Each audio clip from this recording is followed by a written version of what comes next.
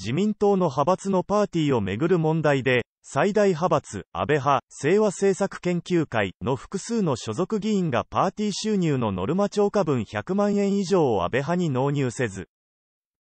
政治資金収支報告書に記載しないまま中抜きしていたことが16日、関係者への取材で分かった。東京地検特捜部は安倍派からのキックバック、還流に加えて、中抜き分についても政治資金規正法違反、不記載、虚偽記載の疑いで捜査を進めている模様だ。安倍派は平成30年令和4年分のパーティー券の販売ノルマ超過分を収支報告書に記載せずに還流し、不記載額は収支合わせて10億円に上る恐れがある。中抜き分を加えれば、不記載額はさらに膨らむ可能性がある。特捜部は、安倍派の議員への任意での事情聴取も開始。今後、対象を広げていく。特捜部はパーティー収入の一部を不記載にしたいきさつについて安倍派や議員の関連団体の会計責任者だけでなく、議員本人の関与を慎重に調べている。関係者によると、安倍派はパーティー券用の口座を用意し、パーティー券を購入する支援者は議員ごとに割り振られたパーティー券番号を名義に添えて送金。派閥として議員ごとのパーティー券販売額を集計し、後日、ノルマを超えた分を議員に還流していた。一方、所属議員の一部は支援者に対し、安倍派の口座ではなく、個人のパーティー券用口座に送金するよう依頼。個人口座からノルマ分だけを安倍派に納入し、超過分は中抜きして議員側の支出に充てたり、ノルマ未達の場合の補填、補填に充てたりしていたという。議員の関連団体の収支報告書には記載していなかったといい、関係者によると、中抜き費貸が100万円を超える議員も複数確認されている。安倍派側では確認が困難とみられ、特捜部は個人の口座などを調べ、中抜き分の資金の流れの解明も進めている。以下はネットユーザーの反応をまとめたものです。派閥の政治資金パーティーのノルマの超過分について、2つの形があることが分かった。1超過分を派閥に報告し、一旦派閥に収めてそこから、還流、キックバック、とされるケース。2兆価分を派閥に報告せず、派閥に収めることなく、議員側の懐に入れてしまう、中抜き、とされるケース。こうなってくると、上記の2の中抜きのケースは、派閥も預かり知らない資金ということとなり、議員側がかなり悪質であり、意図的に言っているということも言える。これを私的に流用している場合には、政治資金とは言えず、脱税ということとなる。政治に使っていたとしても、そもそもこの資金は報告書に載っていない存在しない資金であり、買収などに使われたとしても証拠が残らない。早期の全容の解明と再発防止策の策定が必要だ。要するに脱税ってことだよね。安倍晋三さんは真っ黒なんだということがよくわかった。森学園問題、加計学園問題、そして評伝を固める目的で統一教会を利用し、その見返りに LGBT 法案に反対し、なおかつ統一教会を保護してきた。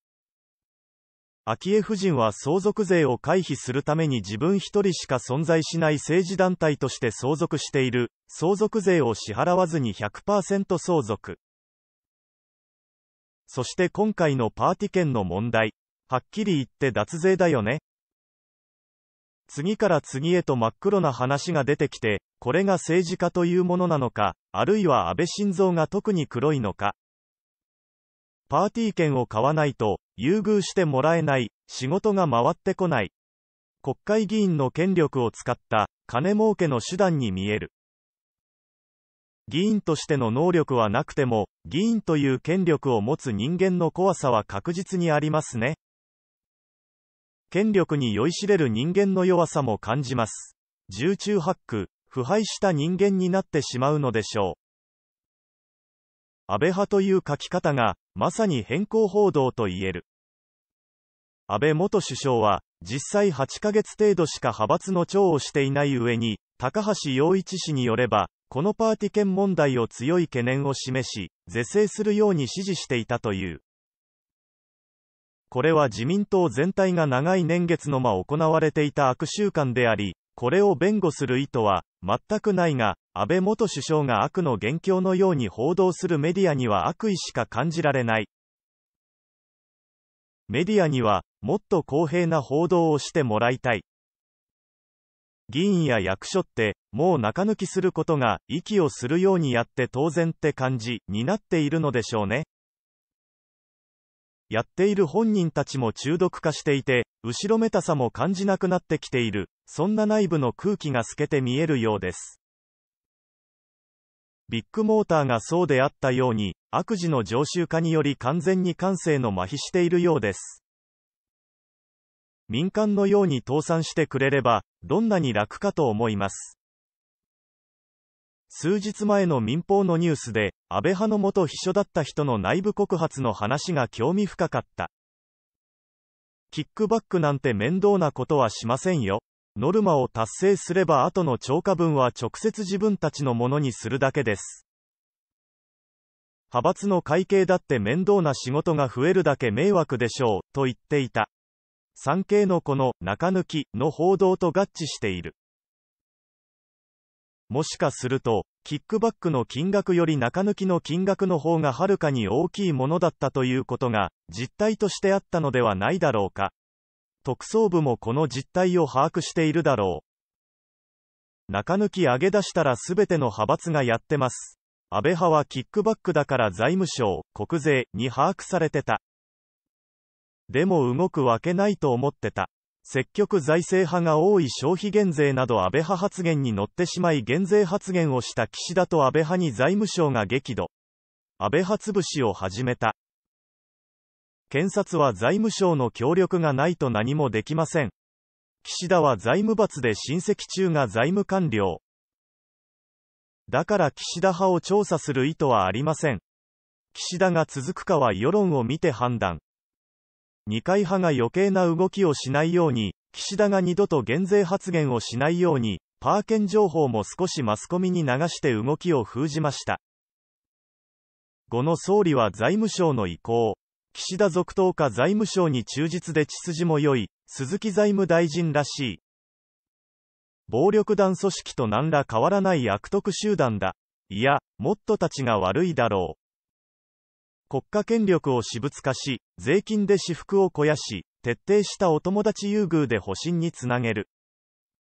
その最たるものが安倍政治だった。そのシステムの中枢はもちろん、加担した所属議員も、一度議員辞職して出直すしかない。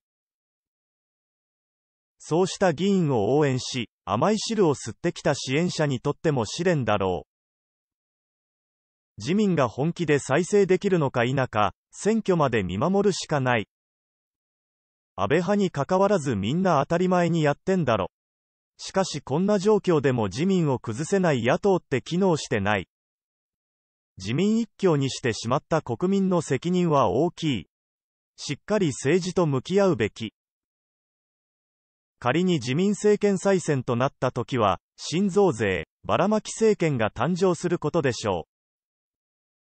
しかし、国民の投票率が高く関心を持っているとなれば国民に目を向かせることができるかもしれませんし、野党の希望にもなるでしょ